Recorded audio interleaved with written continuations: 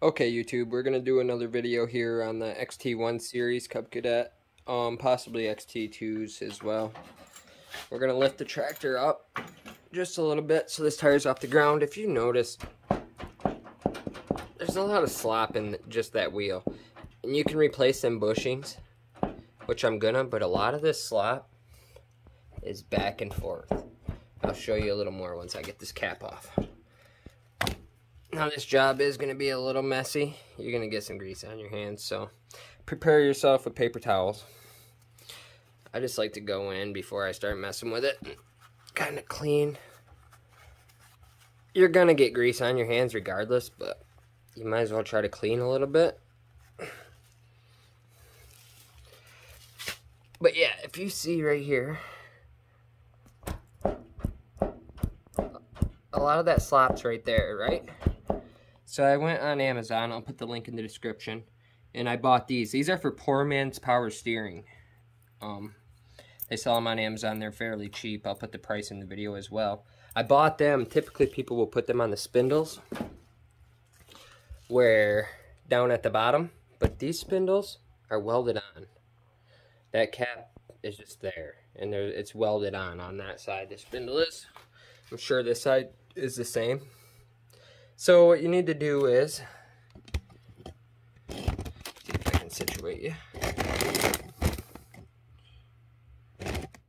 It can be a, a little bit of a pain getting these out, these cotter pins. You got a cotter pin right here. Needle nose pliers are probably more ideal. I might grab some if this don't work. You want to straighten the pin out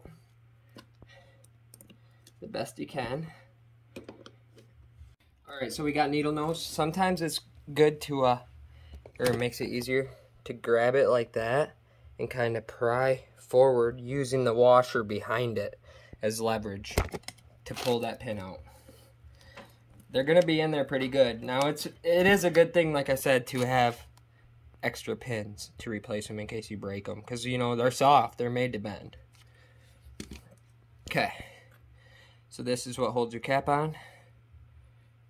I just took it out to there. I'm going to experiment. I'm going to put the roller bear, I'm to put this bearing on the outside, right behind where that cap was. Before I do that though, just like as I do when they do the poor man's power steering, I'm to open it up. And I just dip my finger in my cap because I keep my machine greased. There's grease in there. It's clean. Just wipe a little bit of grease up in these dress it up a little bit. Flip it over.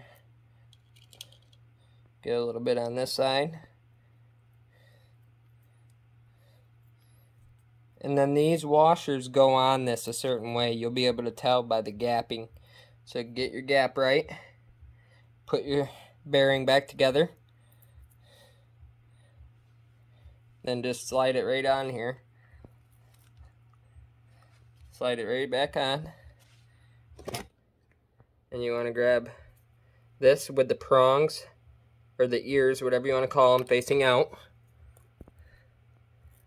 Then, so yes, I'm, I actually decided that I am going to replace this. We're going to go in there. Your washer has indents on it.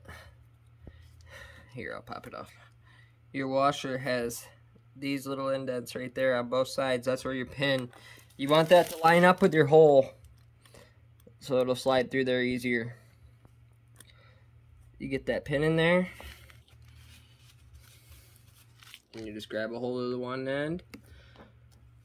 Bend it right off. Make sure it ain't gonna fall out. Spin your tire, make sure everything's good.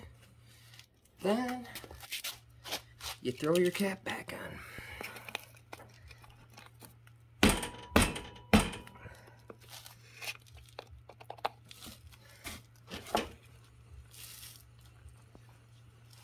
And just like that, that rolls better, and there's no more slop back and forth.